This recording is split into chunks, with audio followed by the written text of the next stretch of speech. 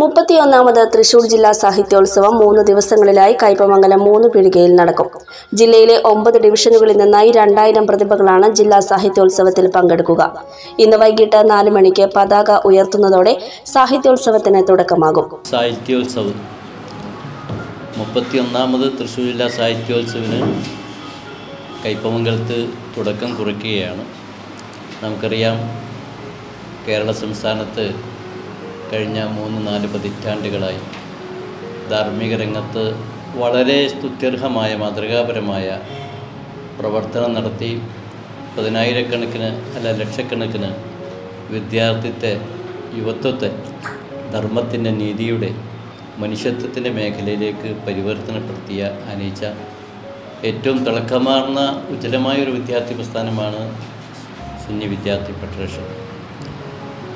രാജ്യത്ത് കാണുന്ന അരക്ഷിതാവസ്ഥ അല്ലെങ്കിൽ അലങ്കോലങ്ങൾ അല്ലെങ്കിൽ വിദ്യാർത്ഥി കലാപങ്ങൾ.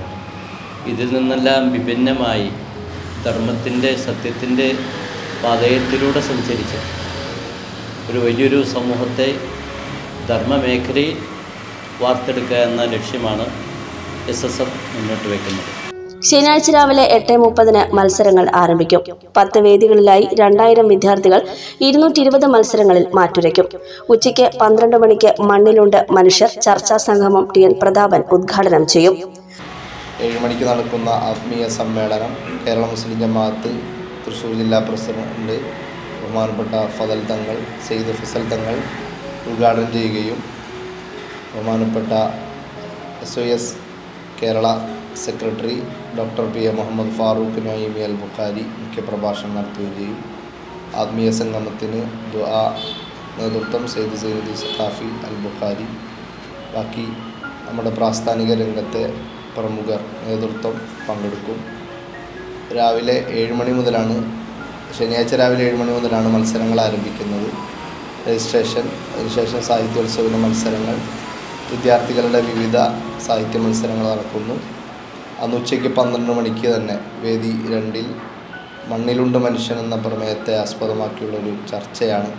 വൈകുന്നേരം നാലു മണിക്ക് നടക്കുന്ന ഉദ്ഘാടന സംഗമം റവന്യൂ മന്ത്രി കെ രാജൻ ഉദ്ഘാടനം ചെയ്യും.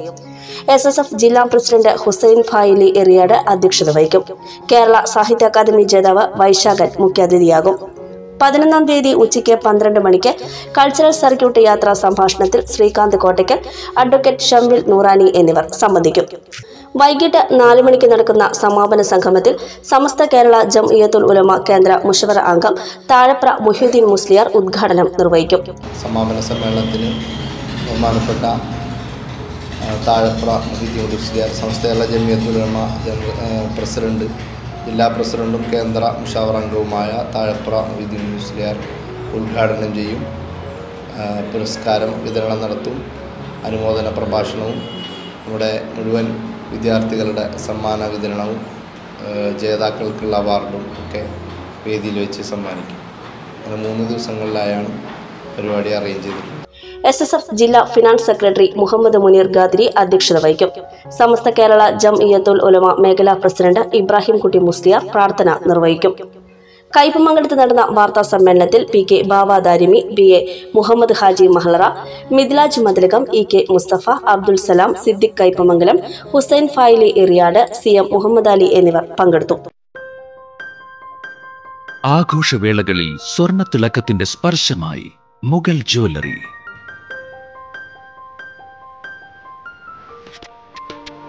അന്താരാഷ്ട്ര ഗുണനിലവാരമുള്ള B I S nine one six സ്വർണാഭരണങ്ങൾ മാത്രം വിൽക്കുന്ന ത്രിപ്രയാറിലെ ഏക ജ്വല്ലറി മുഗൾ ജ്വല്ലറി.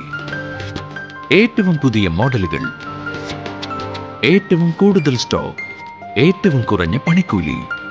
വിവാഹ പാർട്ടികൾക്ക് ഹോൾസെയിൽ വിലയിൽ സ്വർണാഭരണങ്ങൾ നൽകുന്നു.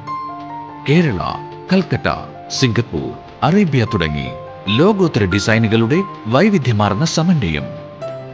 സ്വർണ സൗന്ദര്യത്തിന്റെ രാജചിഹ്നം Mughal jewellery N S seventeen road Triprayar.